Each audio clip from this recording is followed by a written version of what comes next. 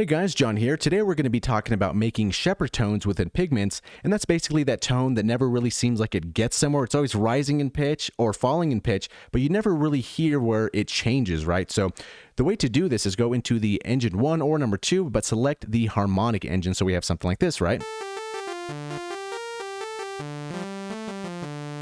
Now what we want to do is go to this window over here and select Shepard. Now what we're going to be doing is modulating this Phi knob.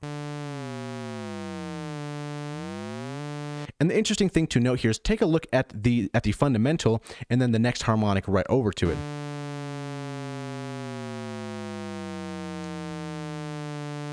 So it fades out just in time for the next harmonic to then become the fundamental.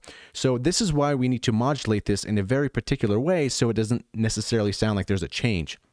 So we can increase all the way to the top at 1, and this is where a function will come in handy for this. So grab function number 1 and then drag and drop this all the way to phi, and then for the amount, drag all the way to 1. We're going to get something like that. Now this is moving a little bit too fast and we can hear the changes, right? What we need to do is slow this down a little bit.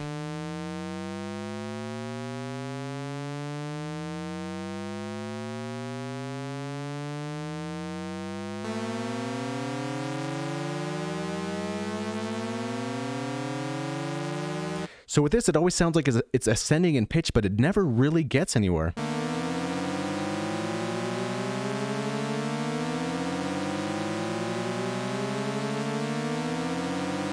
An easy way to change the direction, we grab this little note here and then we turn this to the right all the way here so we have an upward saw, which is going to be doing the opposite.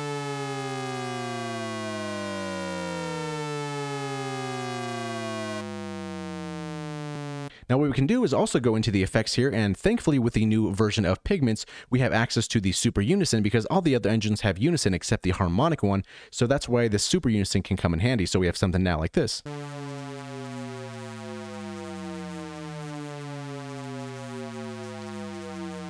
Now, for whatever reason, if you see this upward saw here and it's kind of sounding and it seems weird to you because it's descending in pitch and this is rising, all you have to do is go over to the harmonic engine, go back to this five, turn this down, and then invert the amount to one.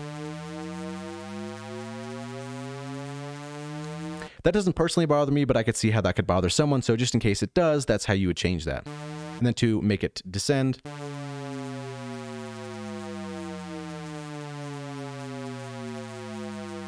You can always mess with the tension, but I wouldn't really suge suggest it because you'll have something like this.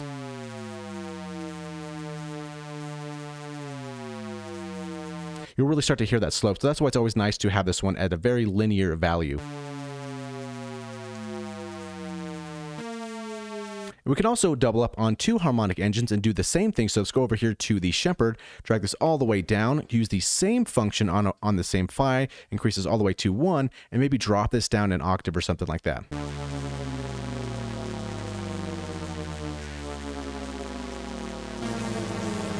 Get something kind of creepy like that, right?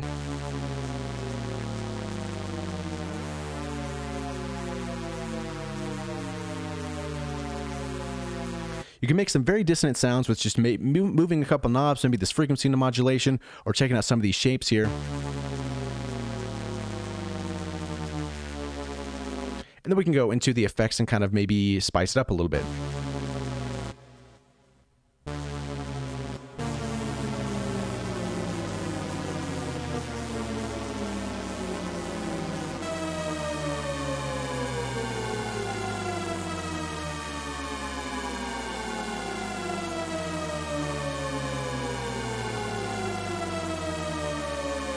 So we could really hold that all day and it's to always kind of sound like it's descending in pitch and it's very easy controlled on this function. And then you can also change the speed if you'd like to hear within our sync or you can go for hertz if you want something a little bit more exact or not synced.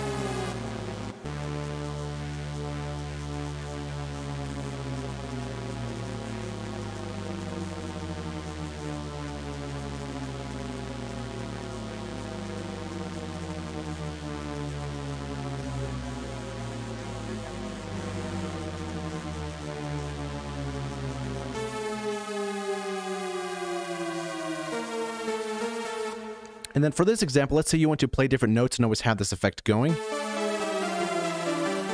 but it's re-triggering this uh, this function every single time. And if you don't want to have that, then you can always click this button over here, so it's going to loop and it doesn't restart.